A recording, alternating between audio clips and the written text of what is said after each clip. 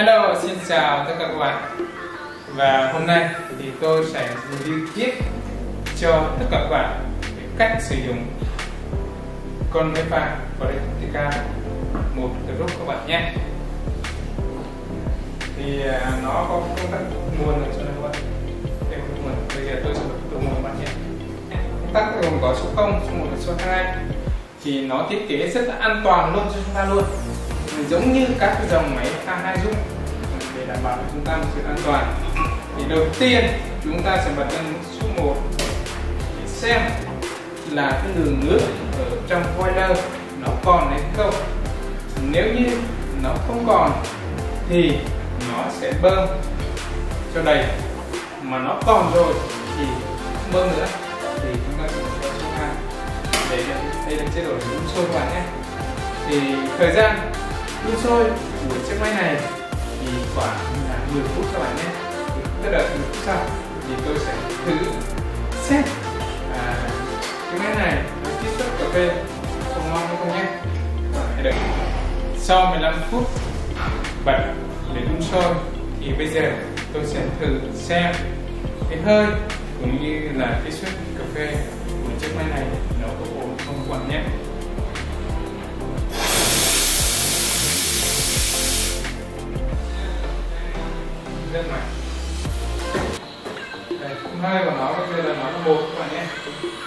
Nó nằm ở cái chế độ nào thì nó là chuẩn các bạn. Lúc của nó nhìn thấy rất đẹp sôi vào này. Rất là mạnh các bạn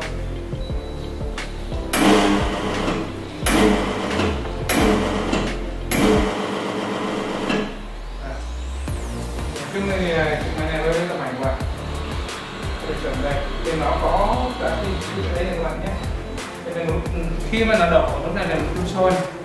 Bây giờ là một cái nút nguồn có thì nó còn nó là nút ok các bạn là nhiệt độ nó đã đủ, chúng ta có thể tiếp tục phục vụ khách thôi thì à, nó rất là nóng. Bây giờ tôi sẽ pha, xem cái chất lượng cà phê là như thế nào các bạn nhé.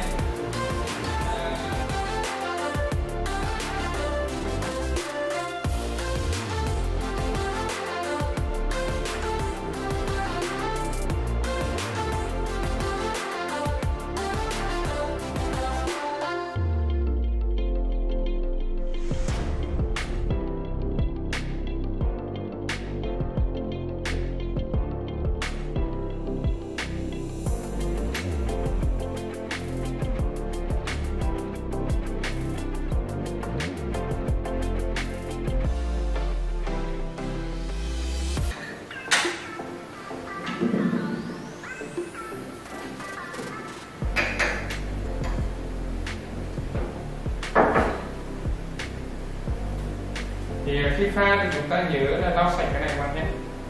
Lau sạch. Cứ nén chặt những chặt về sau. Chúng ta lau sạch cái thành này. Chúng ta dùng một cái khăn chúng ta sạch. Chúng ta tránh để cà phê nó bám lấy nhiều. Thì khi cà phê nó bám nó đây nhiều thì nó sẽ bám vào trong cái rong cao su này nhiều. Thì nó xảy ra hiện tượng là xì rong cao su.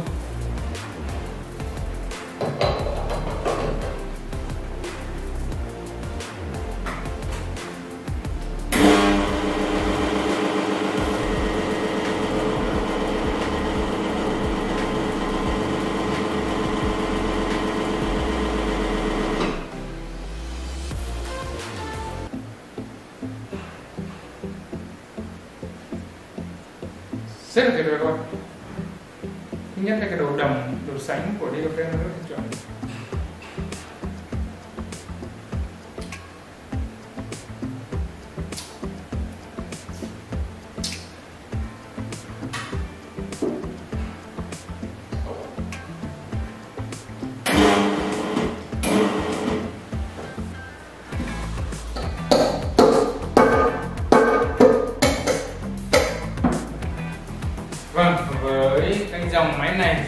Chúng ta không cần phải thay nhiều.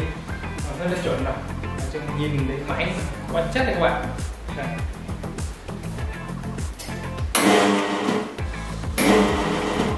rất tuyệt vời. Thì khi pha xong một ly hoặc hai ly thì chúng ta phải xả để cho nó sạch. Bởi vì khi chúng ta pha thì cái cái bã cà phê là sẽ bám vào đây. Làm đi rất là nhiều. Thì khi chúng ta xả nhưng mà sạch quá. Sạch nó không có dính cái cằn của bạn cà phê nữa.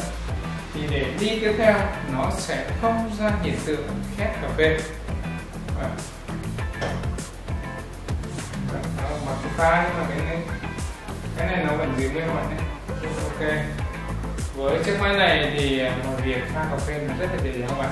Các bạn xem xong nhớ đăng ký kênh để ủng hộ cho ca và đừng quên like, share để nhiều người được thưởng thức và xem chiếc máy này cũng như là tìm hiểu chiếc máy này các bạn nhé. Một lần nữa Janka xin cảm ơn.